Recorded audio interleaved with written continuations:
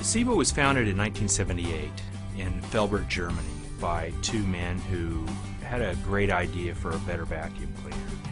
And over the years, they've grown to have cumulative sales over a billion dollars. We all know that Germany makes the best automobiles, but now people are going to recognize that the best vacuum cleaners in the world are also made in Germany. What's so impressive about SEBO is that the vacuums are well built. They're not made to be disposable. They last for years and years. In fact, 15 years or more is very typical. And that's why they're so popular in the commercial marketplace, but homeowners seem to like them as well too. SEBO vacuum cleaners are the most reliable vacuum cleaners in the world. In fact, they're so good, they're good enough for the White House.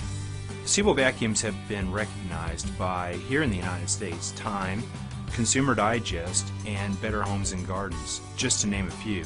What it means to you is that you have a real substantial company that's been in business for decades, been in business in markets throughout the world, and understands that the goal of selling is customer satisfaction. And with a machine that works and works year in and year out, customer satisfaction is assured.